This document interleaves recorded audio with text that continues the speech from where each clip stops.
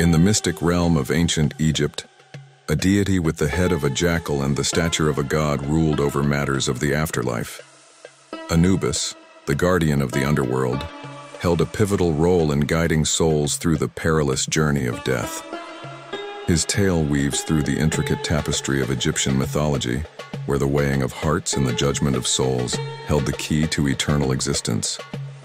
Born to the goddess Nephthys, Anubis faced a peculiar origin, as his father was often believed to be either Osiris or Ra.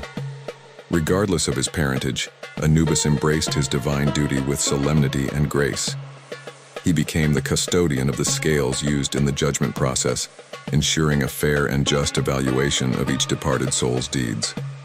Anubis, with his keen judgment and compassionate heart, guided the deceased through the perilous journey to the afterlife. In the Duat, the Egyptian underworld, he measured the weight of the heart against the feather of Ma'at, symbolizing truth and justice. Souls deemed worthy were ushered into the embrace of the afterlife, while those found wanting faced the prospect of annihilation.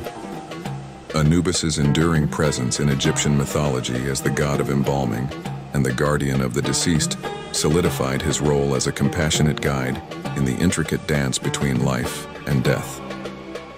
As the jackal-headed deity, Anubis stands eternal, a symbol of transition and the unwavering balance that governs the fate of departed souls.